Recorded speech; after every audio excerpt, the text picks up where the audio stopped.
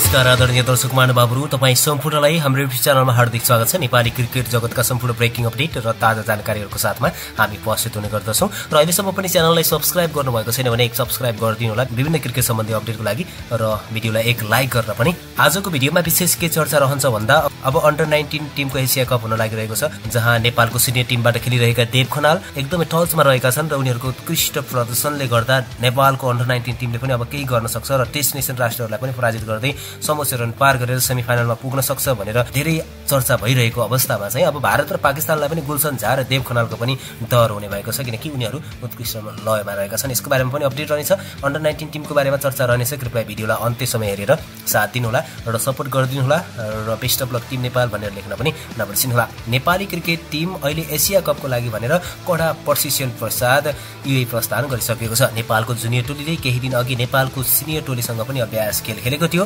अहिले टिममा रहेका केही कमी कमजोरीहरूलाई पत्ता लगाई समाधान खोज्ने प्रयत्न पनि भइरहेको बताइएको छ र टिममा सिनियर टिमबाट प्रदर्शन गर्दै आइरहेको देव खनाल र गुलसन झा थपेपछि टिम निकै नै बलियो बनेको छ। गुलसन झा र देव खनालले चलेको अवस्थामा सिङ्गल ह्यान्डेड नै गेम नेपालको पोल्टामा पार्दै विपक्षीलाई सकस पार्न सक्छन् भनेर धेरै चर्चा पनि हुन थालेको छ। पछिल्लो समय विश्व क्रिकेटमा देखिएका परिदृश्य समेत डरलाग्दा रहेका छन्। नेपालले झन्डै टेस्ट राष्ट्र आयरल्यान्डलाई हराएको थियो।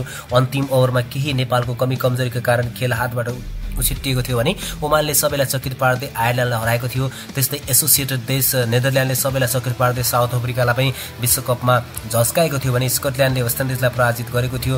यस्ता परिदृश्यहरूले गर्दा भारत र पाकिस्तान नेपालसँग भिड्नको लागि तयारीका साथ आउनेछन्। उनीहरूको रणनीति गुलसन झा र देव खनाललाई रोक्ने हुनेछ तर भारत र पाकिस्तानलाई हट फर्ममा रहेका गुलसन र देव खनाललाई रोक्न त्यति सहज भने छैन।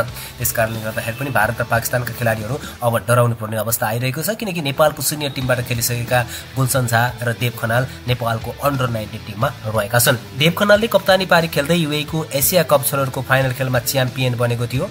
देव खनालको कप्तानी पारीमा युएसँगको एसिया कप कप छनौटको फाइनल खेलमा च्याम्पियन नेपाल क्रिकेट टिम बन्न सफल भएको थियो। उनले ब्याक टु ब्याक सेन्चुरी पनि प्रहार गर्न सफल भएका थिए। तसर्थ देव खनालको लागि पाकिस्तान र भारत तयारीका साथ आउने पनि देखिन्छ। सिनियर टिममा पनि खेलिसकेका देव खनालले करिब तिन रन प्रहार गरिसकेका छन् भने प्रेसरमा टिमलाई गतिशीलता दिने उनको स्वभाव पनि अचम्मको रहेको छ। देव खनाल नेपाली टिमको तीन नम्बरको रूपमा राष्ट्रिय टिममा पनि रहेका छन् तर पछिल्लो समय व्यस्त रहेका कारण उनले सिनियर टिमसँग रहेर खेल्न सकेका छैनन्। यसकारणले गर्दा जुनियर टिमलाई एसिया कप र विश्वकपमा छनौट गराउन पनि देव खनाल कप्तानको रूपमा सफल भएका छन् र उनको काँधमा ठुलो जिम्मेवारी पनि रहेको छ। साथमा गुलसन झा पनि अहिले उनीसँग सम्मिलित रहेका छन्। त्यसकारणले गर्दा यी दुवैजनालाई नेपालको तर्फबाट उत्कृष्ट प्रदर्शन गर्ने एउटा ठुलो अवसर पनि रहेको छ र नेपाल क्रिकेट टिमलाई ऐतिहासिक जित दिलाउन पनि उनीहरूको अहम भूमिका रहनेछ।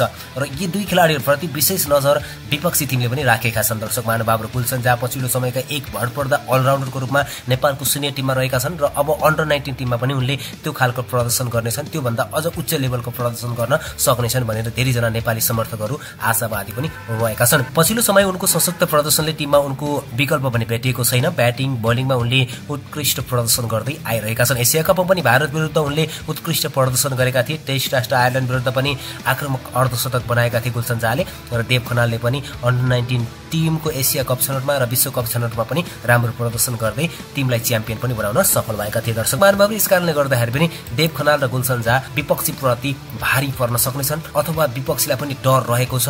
नेपाली क्रिकेट टिमका यी दुई होनहार युवा प्रतिभावान खेलाडी र उच्च लयमा रहेका खेलाडीहरूप्रति विपक्षीलाई पनि सहज हुन सक्ने अवस्था चाहिँ छैन। त्यस कारणले गर्दा विपक्षीले पनि राम्रो प्रदर्शन गर्नेछन् र विशेष गरेर गुलसन झा र देव खनाललाई आफ्नो नजरमा पनि राख्न सक्नेछन् दर्शकमाहरू र उत्कृष्ट प्रदर्शन गरून् दुवैजनाले आफ्नो टिमको लागि महत्त्वपूर्ण भूमिका र आफ्नो यो ठुलो अवसर रहेको छ नेपाली टिमलाई च्याम्पियन बनाउने अथवा समोचरण पार गर्दै सेमी फाइनलसम्म पुग्ने त्यो उनीहरूको जुन किसिमको लक्ष्य रहेको छ त्यो पुरा हुन सकोस्।